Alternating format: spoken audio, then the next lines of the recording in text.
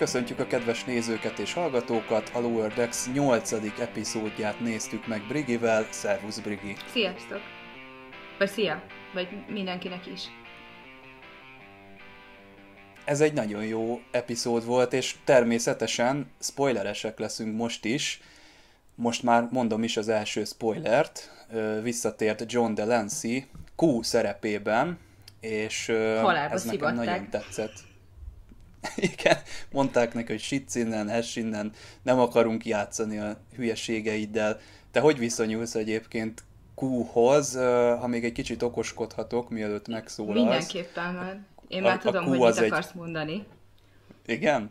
Na, kíváncsi leszek, hogy azt mondom-e, amit tudsz.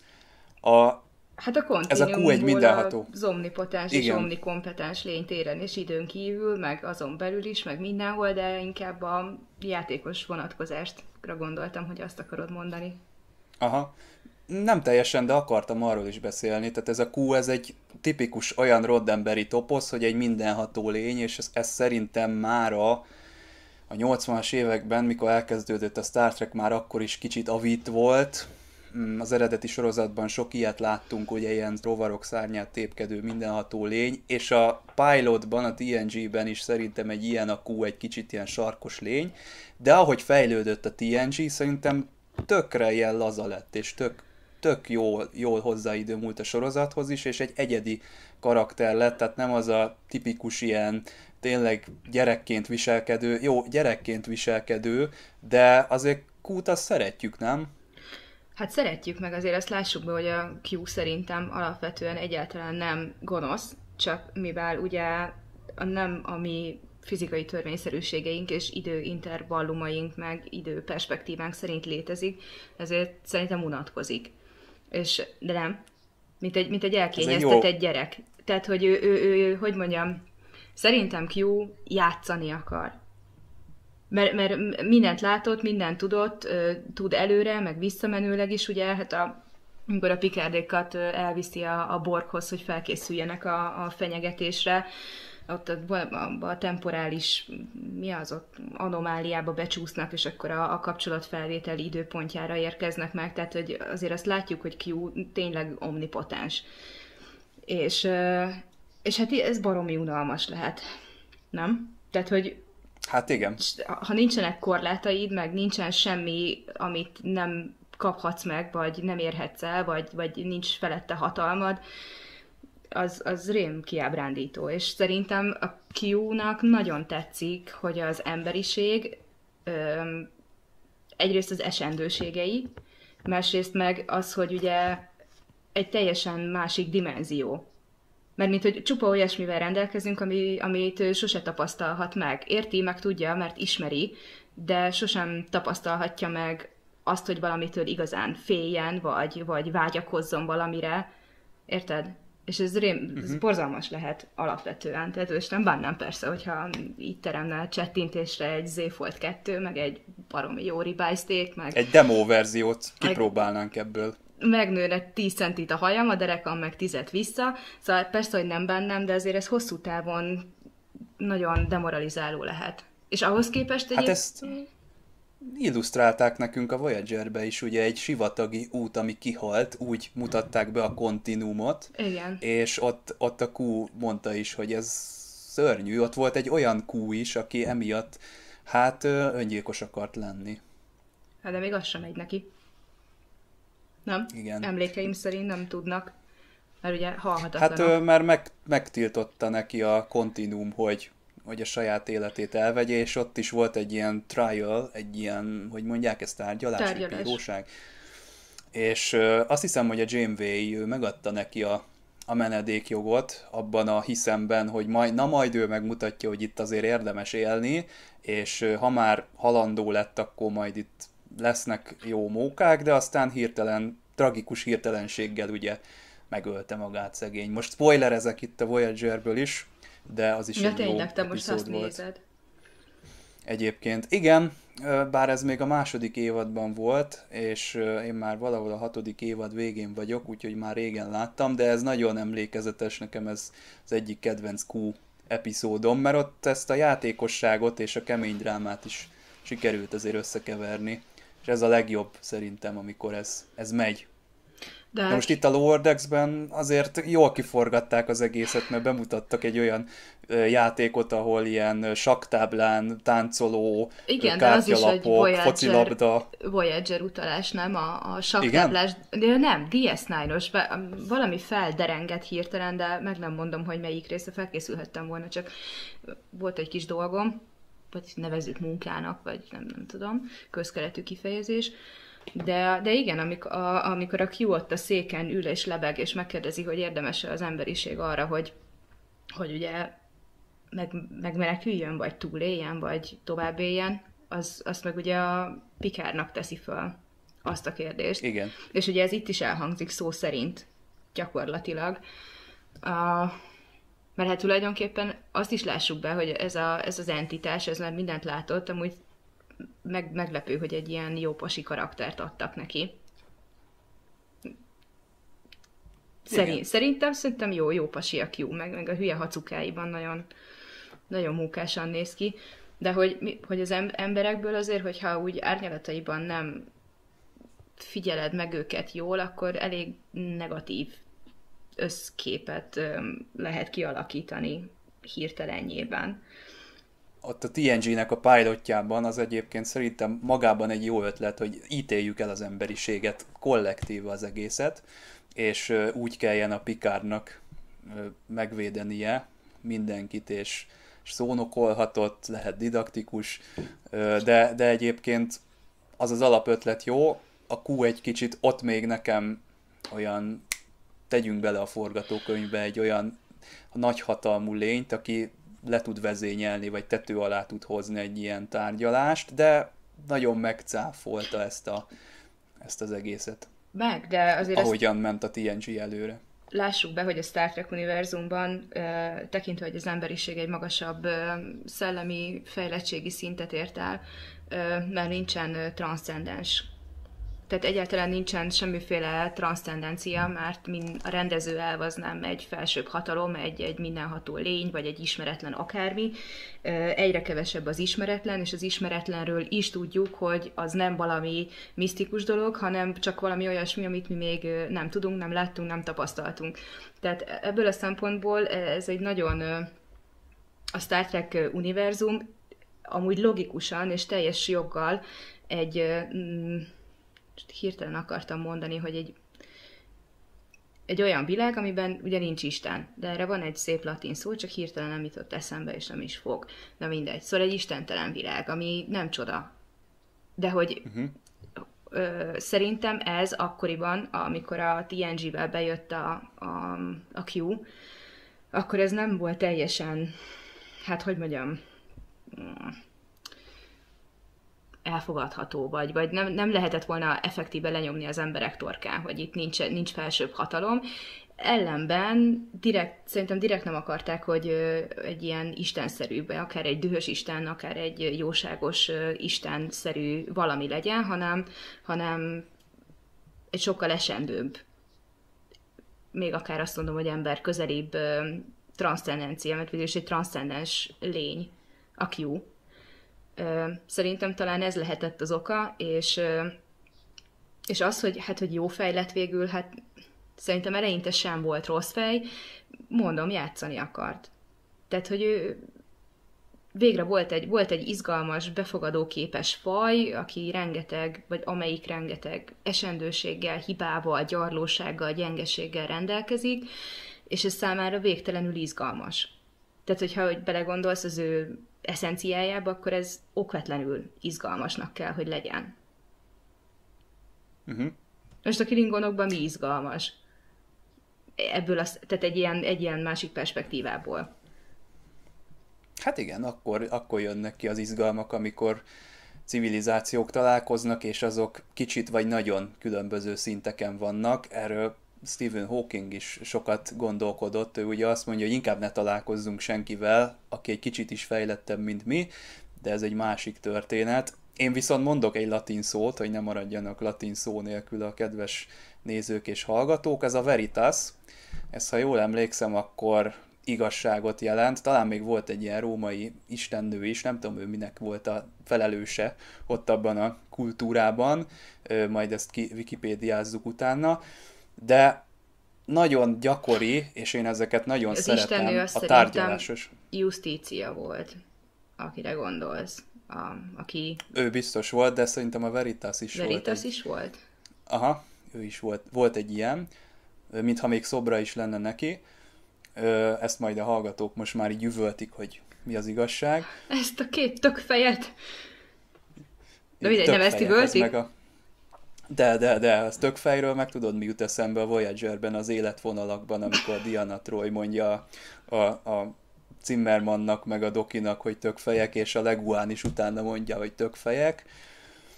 Na de, ugye a tárgyalás, mint, mint epizód, ez is nekem nagyon bejönnek a tárgyalásos epizódok, és ez Hát is több, egy több olyan. is van. Igen, Ez a... Nem is tudom melyik filmben, amikor a McCoy meg a, hatodik. a hatodik film, az nem ismert tartomány? Igen. Az. Ab, az ugye az alap, és akkor onnantól már ezer feldolgozása volt a Discovery-ben is. Van egy, ö, amikor az Archer-t ö, Klingon bíróság elé idézik, az is ö, kb. így néz ki, csak a, még a mm, Az film- egy ilyen homás volt, szerintem Igen, az már Archer. az is, és An- akkor ez meg Igen. annak a, az utánérzése szerintem. Igen, ez rögtön Igen. eszembe jutott. Hát ez ki is csavarja ez az epizód, hogy úgy tűnik, mintha egy ilyen komor, sötét, nyomasztó tárgyalás Hát lenne. nem kicsit tűnik egy, úgy egyébként, tehát, hogy Aztán egy ilyen szülinapi izé, mintha egy ilyen szülinapi zsúr lenne, ilyen izék lógnak ott, meg ilyen rózsaszín. Az a csávó, aki ott néz, azt hiszik rá, hogy ez a bíró, és közben, és közben ő csak a vár, hogy a tizen, lánya 16 éves szülinapját ünnepelnék utána, és hogy így haladjunk már. Meg jön a, jön a teremfőnök, hogy oké, okay, oké, okay, ettől eddig volt lefoglalva, most már menjenek innen. Hát ez óriási volt egyébként. Ez fantaz... Egyébként szerintem e- nekem ez az epizód eddig az, A legjobb. a... Igen. Annyira sziporkázik a saját Lower Decks-ségébe ez a, ez a rész, hogy egyszerűen over the top, ez lehetett volna akár az évadnak is a befejezése. Hatalmas volt, és nem csak John Delancey ugrott be, hanem van még nekünk itt egy Kurtwood Smith, akit a Star Trek rajongók ismerhetnek kardassziaiként, illetve volt föderációs elnök, de talán a legtöbben Anorax miatt emlékszünk rá a Voyager Pokoli év című dupla epizódjából. Na ő az a csávó, az a zöld félszemű, ez a félszem is a nem ismert tartományból jön Igen, a szerintem, ott is a Chengnek félszeme volt. Na ő a Kurtwood Smith egyébként zseniálisan hozza, és itt van még Kenneth Mitchell is, ő a Discovery-ben játszott a Colt, Kolsát, illetve Tenavikot. Ö, hát sajnos a színésznél tavaly ugye ö, ALS-t diagnosztizáltak, és azóta már tolószékbe van. Ezt nem tudom, mikor csinálták ezt, a, ezt az epizódot, lehet, hogy még előtte vagy közben, de lesz még neki szerepe egyébként a Discovery-ben is a harmadik évadban. Már nem lesz rajta maszk, hanem valamilyen ember lesz. Én örülök, hogy ő még így aktívan a, a Star Treknek a része. Na ő volt az a rovar kapitány, akivel a Ja, igen, akire Eldobta azt a rálőttek. térképet. Igen. Na az is egy fergeteges. Szóval sztárparádé volt még hangok tekintetében is ez a, ez a, ez a rész. De még az a rész is, amikor a, mondja a Marinernek a kapitány, hogy ö, ö, küldjünk nekik egy üzenetet, aztán ez hangzik el a Lower Decks-ben. Ő meg érti, hogy küldjünk nekik egy üzenetet, az meg a az meg a Kán haragjában van, hogy ugye magyarázzuk el nekik, és akkor ez azt jelenti, hogy elkezdünk lőni, és akkor Hát de mert hogy ott fel van háborodva a kapitány, hogy ezt hogy képzelte, hogy elkezdett lőni, és hát azt mondta, hogy a magyar, vagy küldjünk Igen. nekik üzenetet, hát ez azt jelenti, de nem azt jelenti, de azt jelenti. Úgyhogy ez, szerintem ez is nagyon jó volt. Ez a vulkáni hello, nem? Az is ilyen, hogy lőni kell először, és aztán kell köszönni. Valami ilyesmi volt a Discovery első évada. Hát most az újra nézést a másodikkal kezdtem, úgyhogy már homályosak az emlékeim. De ott is valami ilyesmi volt. Volt, volt ilyesmi. Igen. Igen, és Szerintem. közben ugye ott be, besúnyognak a, a Mariner és a, a Ja, hát Boimler, igen, mert kicsit elkéstek. Benézték a vörös riadót. Igen, egyébként ez a, ez a küldjünk egy üzenetet, ez azt, azt jelentette volna a kapitány szerint, hogy hívjuk meg őket vacsorára, igen. megint egy, ugye a Star Trek 6-ból a, ott is volt egy ilyen csodálatos vacsora, de ezek a rovarok mintha azért sértődtek volna meg, mert hogy ő megköszönte azt a térképet, tehát ez a megköszönés ez egy ilyen udvariatlanságnak számít. Ja, a voyager az az én valami... bolygóm. Igen. Volt valami hasonló a Voyager-be, hogy a, a Janeway valami rossz testtartása volt, vagy valami rosszat szólt, és a Neelixnek ilyen, ilyen torna gyakorlatokat kellett csinálnia, hogy ott bocsánatot kérjen, meg, meg valami rémlik. tisztázza ezt. És az Enterprise-ba is szerintem ezt biztos tudni fogod, mert te folyamatosan nézed azt most, a, amikor az Archernek ilyen láncfűrészsel kell ott felvagdosnia ilyen ja. ö, izéket, mert ott is valami lehugyozta a Portos a az egyik Portos fát, vagy... lepisílte, igen, az egyik fát, és az nekik ilyen szent, szent akármi, de az a faj az legendás arról, hogy ők mindenen megsértődnek. Tehát akármit csinálsz, nem jöhetsz ki jól belőle. Tehát van rajta sapka, az a baj, ha nincs, az a baj, és a, az Archer ott egyébként igen rettenetesen morgolódik, hogy ő nem fog térden csúszni, azt se tudják, hogy mi történt meg, meg miért nem szóltak, de, de ott a, a faj is elkövet egy súlyos hibát, mert leküldték a bioadatait a Portosznak, és ugye ő egy fertőzéssel tért haza, és majdnem rá is ment. És a, a doktor próbálta Igen. őt ott összekalapálni, és hogy elvileg ugye ez is nehezíti így a diplomáciai megoldásokat, hogy a, a kapitány dühös, mert hogy nekik tudniuk kellett volna. Tehát, hogyha ha vették volna a fáradtságot, hogy megnézzék a, az övei tímnek az összetételét, akkor tudhatták volna, hogy a kutya nem lesz jó. Több szempontból se. Igen, meg az is nehezíti, hogy a doktor mindig azt kérdezi az Archertől, hogy nincs-e önben egy kis szexuális feszültség kapitány esetleg a tipol irányába, nincs-e valami vonzalom esetleg. Ah, nem, ez, ez is végigvonul a... Én azt hittem, hogy a Archer meg a Tipol ha valakik összejönnek, akkor nem a Trip és a Tipol lesz az Enterprise-ban. Jaj, nem de... tudom, nekem pedig egyértelmű volt, hogy uh, tudja, hogy az Archer és a Tipol trip... sose jönnek. Persze. Ja, az... Az tök evidens Azt én volt. is sejtettem, a Janeway meg a Csekoté se jött össze, pedig a Csekoté milyen jó kádat csinált abban a általad is kedvelt Voyager epizódban, mikor ott rekednek a, azon a bolygón. Hát ők nem jöttek össze. Hál az égnek, de... az annyira kínos lett volna, szerintem. Vagy nem tudom, én nem, nem szeretem Csakotét valahogy, vagy nincs vele bajom, csak... Nem jön be a tetkója. Nem, olyan egy, nem tudom, sótlan, sótlan? karakter, vagy olyan nem tudom megfogalmazni, sose tudtam igazából. Majd egyszer lehet, hogy rádöbbenek, és hogy 90 évesen ülök a fotelembe, és így megvan. Ezért nem szeretem a csákoteit. Vagy 90 évesen ülsz, és basszus, mégiscsak szeretem a csakotéit. Ja, nem vagyok ilyen optimista alkat. Ilyen még nem volt, hogy valakiről volt valami, Star Trek karaktert kérdezek, valami első rossz benyomásod, aztán, aztán utána megkedvelted? Most én is gondolkodok. A Q az ilyen volt például, ahogy a műsor elején elmondtam, hogy én nem kedveltem. utáltam őt soha, de annyival több lett belőle, mint amennyinek indult, hogy szerintem tök jó, tök jó az ő pályája. Nem tudom, akit nem Na jó, neked akkor nem volt ilyen, úgy látom. Hát olyan kirívó nem. Kirívó nem volt. Én a kiút eleinte is nagyon kedveltem, nagyon tetszett a koncepció, és valahogy így hirtelen érteni véltem, hogy ő mit csinál és miért csinálja, és ez nekem teljesen logikus volt. Szóval így, uh-huh. így mhm. nem is volt ellenszenves vagy ö, diszonás, amit ő csinált.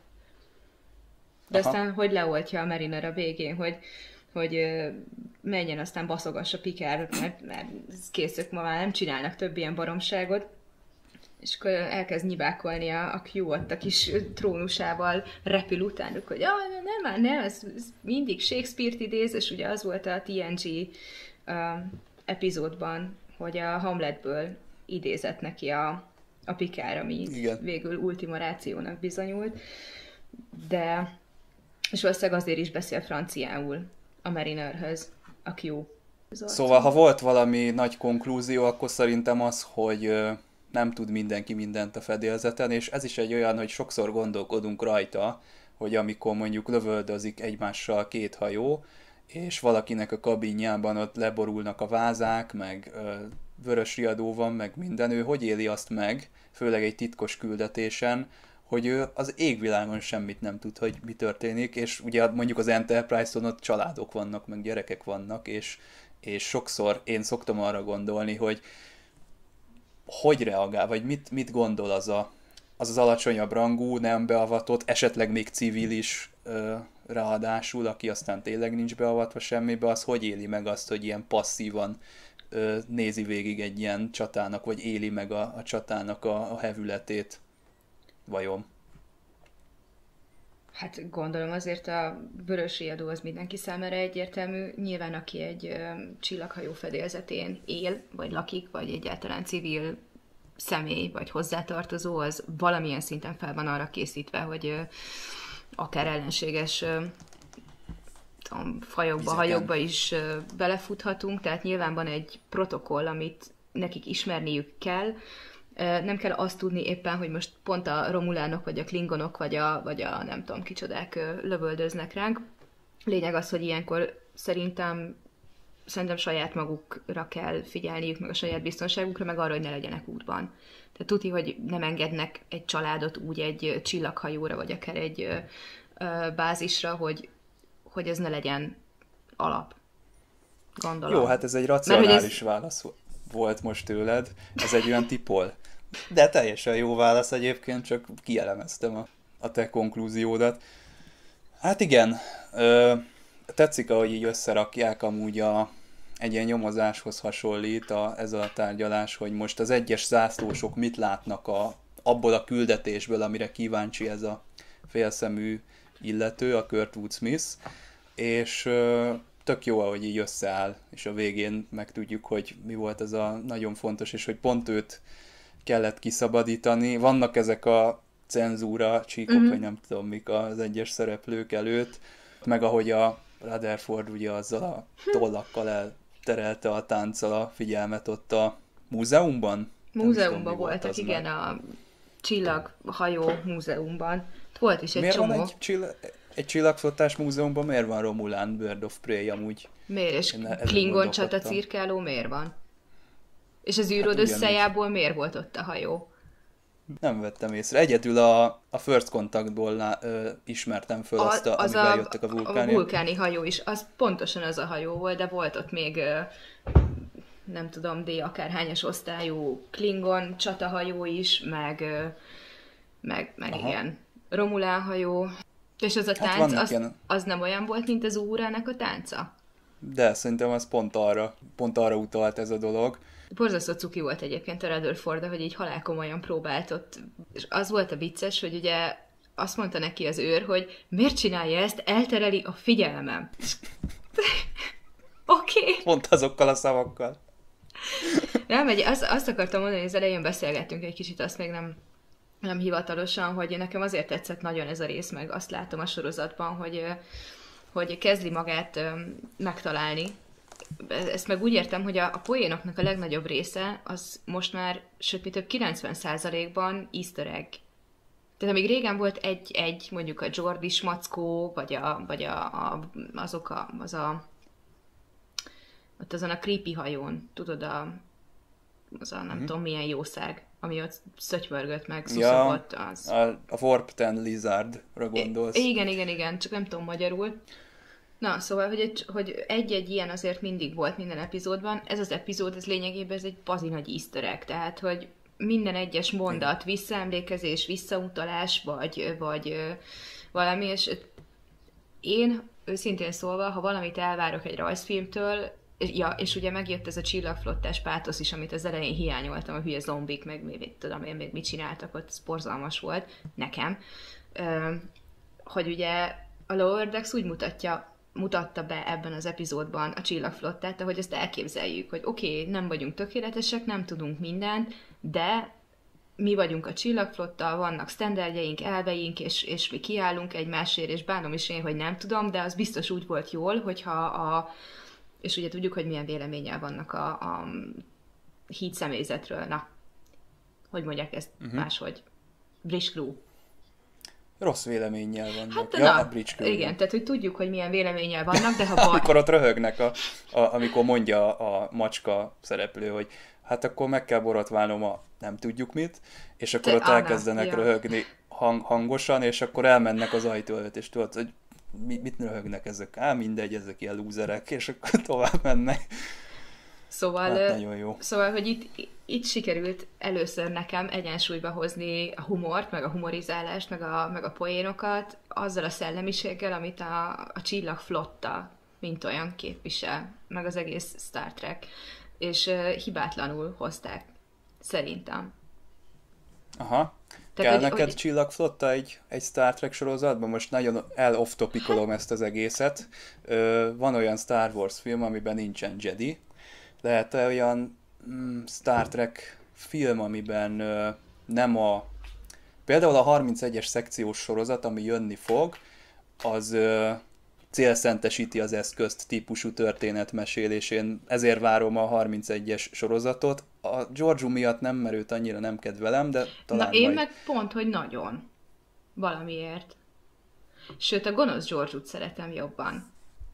Hát, igen. Meg hát szerintem szuperül, tehát hogy annyira gyönyörű nő, és olyan karaktert csináltak neki, amihez hozzátartozik, hogy ő nagyon szép meg hogy én annak is látom. Van egy csomó nagyon szép színésznő, aki uh-huh. mondjuk rajong érte az egész világ, én meg nem látom annak, de a george nagyon. És annyira jól áll neki ez kedvelem a amúgy. Gonosz. A karakterével szerintem nem bántak jól a, a Discovery-ben. Vagy hát nem jött nem, nekem át. Nem kellett volna azzal kezdeni, hogy inkompetens. Mert ugye hát onnan azt határozta meg. De egyébként, egyébként jól átvitték a, tükör univerzumból a, a gonosz george És nem is, nem is gonosz egyébként. Mert még nekem nem ez jött le. Hány év? Két évad volt, ugye? És harmadikat várjuk. Uh-huh. Nekem nem az jött le, hogy Igen. ő alapvetően gonosz, vagy rossz indulatú, vagy önző, vagy ilyesmi. Csak ö, egy kicsit más inercia rendszerben mozog a, az ő értékítélete. Ez ma már a második olyan karakter, akire azt mondod, hogy ő nem gonosz, csak pont, pont, pont. Na vegyük akkor sorra, nézzük a Kánt. Kán, ez nem hát gonosz. Ő, ő tényleg csak nem tudod... gonosz.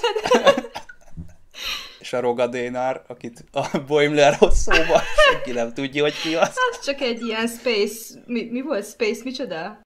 Ő mintha egy ilyen feljavi... Én valami emlékfoszlányaim vannak róla, nem, ő egy ilyen feljavított paszarintott a pikárt, volt. nem? Igen, azt hiszem, hogy ő egy szuper fegyverré módosított ilyen szuperkatona volt, az abban az epizódban volt. egyébként.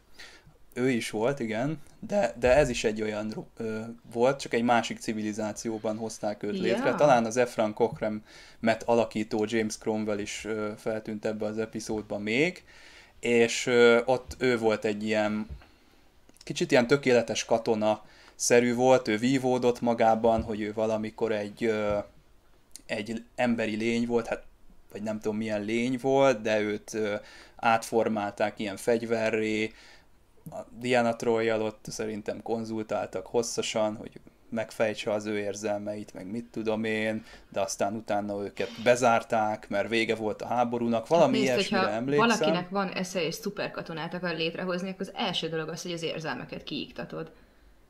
Tehát eleve hát egy hibás sikerült. koncepció. Ez a filmekben nem sikerül, sajnos soha. Hát ez mindig, egy hibás mindig... koncepció, igen. Na, ő a Rogadénár, akit a Boimler felemlegetett. Egyébként jó epizód volt, csak hát igen, És ezt vágod, hogy a, a amikor a Mariner mondja, hogy arra lesznek ítélve, ki lesznek rúgva, és hogy a Földön kell élni, ahol nem lehet más csinálni, csak uh, ugye bort készíteni, az Picard, és a soul food, az neked leesett, hogy ez micsoda? Nem. A soul food. Nem. Na, mondjad. Az a Cisco-nak a, a, a saját kajája, vagy hogy hívják ezt a Cajun konyha. Mert ők a ugye faterjának a... New Orleans-iak, azt hiszem, ott délen, Aha. és ott egészen, hát van egy saját konyhaművészetik, Igen, vagy ami így meg van különböztetve van egy- az amerikai, na és az a soul food. Étterem, igen. A Ezt családja éttermet Hát ez, ez biztos, hogy nem vettem volna. Egy kvízbe ez nekem nem adott volna pontot, hogyha Hát- egyedül vagyok ott. Nem járnánk jó, hogyha mi csinálnánk kvízt, vagyis hogy a játékosok. Na, nem is tudom, hogy hol, honnan, valahonnan annyira elkanyarodtunk az epizódtól, hogy végig száguldottunk a Discovery-től kezdve a, a Rogadénárig mindenkin. Hát de ez mind elhangzott Ö, az epizódban. Persze, nem azért mondom, hogy rosszul csináltuk, csak már nem emlékszem, hogy mi volt még az epizódban, mert lehet, hogy már csutkára lerágtuk az egészet, de ha még tudsz mondani emlékezetes pontot, akkor ne, nehogy bennünk maradjon valami Hát a- értékes gondolat. Dandy mit leművelt ott a, az őrökkel. Ja igen, mert hogy ő, őt azért vitték oda, mert hogy ő lesz a cleaner, ami Hát meg kicsit félreértették, hogy ő a cicaszört, cicaszört vakargatta Igen. le a conference roomban. ez milyen aranyos volt, hogy a... De Tendi nagyon édes amúgy. És már, az, már most látszik, hogy messze sokkal ö, intelligensebb, mint, ö, mint amennyit látunk belőle. Szóval szerintem van még Igen. Igen. potenciál a karakterében bőven, de amúgy meg egy állatira szerethető, cuki, aranyos karakter, és közben valami félelmetesen okos. De amikor tényleg ott a cicaszört szedegette le a, a izéről, hát az, az haláli volt. És akkor megjöttek, és azt se tudta végig, hogy hol van, meg beöltöztették őket megint abba a fekete motyóba. Az egyébként... Ja, az ez a volt Chain of Commandes. Igen, a Next Generation-ben is. Az a hacuka. Igen, abban rabolták el a Picardot, a kardassziaiak. Hát az egy kemény dráma volt, úgyhogy ö, nekem mindig kicsit összeszorul a szívem, mikor meglátom azt a fekete hacukát. Jó, Mert, akkor ö, nem, nem öltözök be. Tényleg pont úgy kezdesz Sőt. kinézni, mint azok a... Figyelsz magadra, De tényleg egy, egy, egy többszörös félreértés volt ott, mert azt hitték a Tendire, hogy ő olyan cleaner, aki Igen. a kommandósok az között a fajta cleaner. akkor rögtön oda dobták neki a phaser rifle-t, és akkor elindultak a, a küldetésre. Haláli. Ez nagyon jó volt, és ott a, a, az őrök beszélgettek, és emlegették, hogy ugye A rémán. a rémánokat, és hogy hát azok a legrosszabbak. Én azon rögtem halálra magamat, amikor ugye a Tendi el akarta mondani a, a Bird of Prey fedélzetén, hogy de hát én csak takarítottam, és akkor az az andóriai mondta, hogy szkennelnek minket, és akkor Ne, ne, ne, mégis. maradt. De, de, de mégis szkennelnek. Ez, ez szerintem zseni volt, és ö, egyáltalán nem volt benne semmi oda nem illő, vagy ö, így a, az univerzum karas- karakterisztikájához íz, ízetlen poén. Szóval nagyon, nagyon tetszett. hasonló poén volt a Gornos, amikor ugye Jaj. Gorn esküvő, eleve ott csinálja a fényképeket az egyik Gorn az esküvőről, aztán utána ugye bezárja, vagy becsukja a szemét a Rutherford, hogy majd akkor megint máshol lesz, és akkor kinyitja, és nem.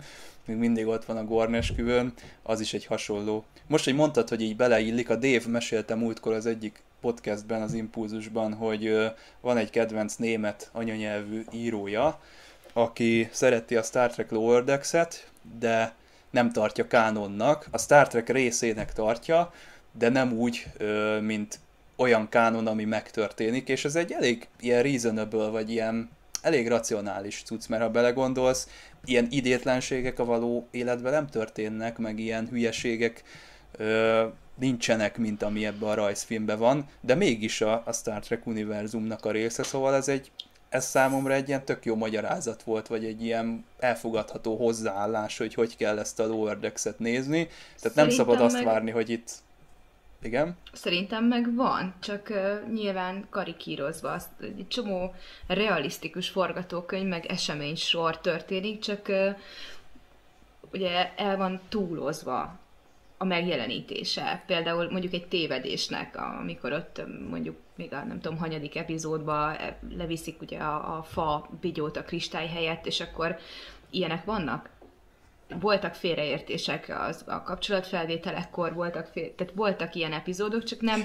De igen, de ez nem hivat, tehát hogy egy komoly sorozatban, mondjuk a Star Trek Picardban ez nem hivatkozható vissza, hogy képzeld el, történt egy olyan, hogy lementek oda, és összetévesztették a kristályt egy fával, és emiatt... Hát a Picardban pont nem, mert ez egy pont egy nagyon komoly sorozat, de őszintén szólva... Igen. Most mit mondják? Hú, Star Trek Picard egyébként eszembe jutott gyorsan a, ez a Kendor nevű kürt, amiben beszéltek uh-huh. a, a Lower Decks-ben. Nekem az Absolute Kendor jutott eszembe a Picardból.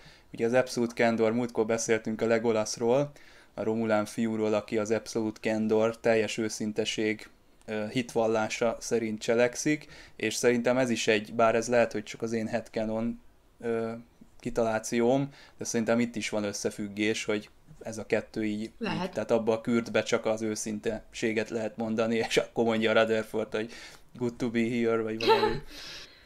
Mondjuk képzeld el, hogy, a, hogy most a Voyager-t nézed, akkor képzeld el, hogy a Paris éppen meséli, hogy valamelyik ilyen sztorit. A Belánának. Az, aznak teljesen Meséli. ki van, hogy de ilyet nem lehet, meg hogy inkompetensek, meg hülyék, meg, meg mondjuk a piacos részt, képzeld el. Tehát szerintem totál Igen. behivatkozható lenne. Vagy hogy, vagy hogy béne zászlósok ugye összeizélték ott a dolgokat. Miért is ne? Szerintem tökre kanonizálható lenne. Vagy lehet, hogy lesznek olyan momentumok, amik kanonizálhatóak. Én inkább e, igen, e, ezt az irányt látom valósnak, hogy azért vannak úgy nagy vonalakban az események hivatkozhatók, de így nagyon az idétlen részletek azok, azok megmaradnak a rajzfilm privilégiumának. Hát de műfajilag szerintem ez De ezzel nincs gond, persze. Nyilván. Nem azért mondom, hogy, hogy ez probléma, csak ennek a német úriembernek szerintem ez egy tökre új és, és követhető gondolata volt, hogy így közelíte meg ezt a, ezt a hát prob- nem probléma ez, hanem ezt a kérdést. Jó, de ő akkor hogyan ö, illeszti be azt, hogy a, a szereplők, meg a, a sorozat rengeteget hivatkozik a, a kanonizált anyagra? Hát ez e, lehet egy irányú dolog, Végül szerintem. Is. Jó, hát tulajdonképpen lehet. Na, nem tudom, én tök el tudom képzelni, hogy ott a bárban hülye röhögi magát azon, mondjuk a Riker, igen, hogy nem tudom, valamelyik ilyen hülye, mondjuk a, a, a, ez a Salt Vampire uh, story, hogy képzeld el, a Szeritosznak az első tisztje, és így randizott egy tökdögös csajjal, és, és hát, hát kiderült róla, és már mindenki tudta, hogy ez egy Salt Vampire, csak, csak ő nem, és nem. Én ezt el tudom képzelni, és akkor jön Guinan, mond valami nagyon bölcset, de hát az tényleg ki, most jöhetnének a nagy izé, kemény Star Trek rajongók, hogy de hát az tényleg kihalt, hát hogy lehet ott a, a sóvámpíra a csillagbárban. Hát egyébként nem biztos A veszélyeztetett egyedek végén azt az egyet, akit ismertünk, az kész vége volt. De ez mikor Meg volt? volt Hányba? Egy... Mármint a uh-huh. sorozat idővonalán, hát azt nem tudom megmondani, még a 20 Szerintem, században. szerintem tökre nem kizárt, hogy ez még belefér. Bár lehet egyébként, hogy ott tényleg úgy tűnik, hogy kihalnak. Miért? Hát most találtak egy csomó új fajt Ausztráliában megint, mindig ott találnak új fajokat, amik elméletileg kihaltak. És Igen. több száz évig azt hittük, hogy... Nem, mintha ez lenne a legnagyobb, nem tudom, tehát ezért nem nézi majd valaki a Lower Decks-et, mert hogy kihalt a, a sóvámpír valójában. Milyen dilettáns balkok, ez a rend... még ezt se tudják a hídon történik, amikor belopakodnak a Mariner és a Boimler, hogy egy ilyen tipikus tábla előtt álló iskolai felelet szituáció, hogy na, akkor Boimler zászlós, mit, mit csináljunk, most igen. Na, én ezt is egy csomószor elképzeltem, egy ilyen szitut már a Star Trekbe, hogy mikor vannak ilyen komoly megbeszélések, mikor a, a Picard kapitány áll ilyen komoly fejjel, meg mellette áll a Déta, és így beszélgetnek, és így azt mondja, hogy Mr. LaForge jöjjön ide, és akkor nem tudom, kikéri a véleményét, és a Mr. LaForge egy tök hülyeséget mondana, és akkor mit te kéne ilyen jelenet a rendes Star Trekbe is, hogy oké, okay, csak egy ötlet volt, bocsánat. Tehát így nem mindig, de ezek nem mindig jönnek be. Kicsit még gondolkodom rajta, várjál. Igen. Igen, hát... A, a Worf az szokott ilyen hülyeségeket mondani, Igen, amúgy, vagy hát ő... De szerintem a Shax pont a Worfnak ezt a karakterét akarja leutánozni, mert ugye ő is biztonsági tiszt, és ugye neki mindenre az az első, hogy lőjünk. És akkor ne, ne, ne, megpróbáljuk meg. Jó, de aztán lőjünk, és így. Most már lőhetünk? Most már lőhetünk. Tehát a Worf is rögtön először mindig de élesítsem? Ne, ne, ne. Pillanatjú. Meglátjuk. Szerintem az tök, tök Na, olyan. Béli. Elköszönjünk a hallgatóktól, vagy van még olyan, amit kihagytunk szerinted? Á, majd két óra múlva eszembe jut. Akkor majd rádírok, hogy... Hát, majd egy supplement lesz a műsorhoz. Tudod, itt egy hibajegyzék a szakdolgozat elején, amikor már beköttetted, Igen. és akkor, akkor látod meg azt a helyes írási hibát. Na hát, köszönjük elsősorban neked, Brigi, hogy megint el tudtál jönni, és kedves hallgatóknak, nézőknek köszönjük, hogy végig kísérték ezt az epizódot. Ne felejtjétek, hogy lehet a Facebookon követni minket, illetve YouTube-on, aki vizuálisan is szeretné ezt elfogyasztani, azoknak mindenképpen ezeket a platformokat ajánljuk, akik megelégszenek a hangunkkal, azok a szokásos podcast hallgató helyeken, Soundcloudon, iTunes-on, illetve a Spotify-on találhatják meg a műsort. Jövő héten visszajövünk, természetesen a Lower Decks sorozattal is, illetve az eredeti sorozatot követő kibeszélő műsor folyamunk is folytatódik, amihez egyébként van egy cikk sorozat is, szeretném erre felhívni a figyelmet, aki nem követi az Impulzus podcast Facebook csatornáját, az haladéktalanul pótolja ezt, és akkor ott látja a hetente érkező Impulzus Napló című bejegyzéseket, amik az aktuális eredeti sorozat epizódról szólnak. Olyan részletek is vannak, amiket esetleg a podcastben nem említünk, ezt én utólag dolgozom fel önszorgalomból, és akkor odaírom bele még a, az éppen érdekesebbnek tartott triviákat, illetve háttérinformációkat, tehát ezt is lehet követni. Jövő héten visszatérünk. Sziasztok! Sziasztok!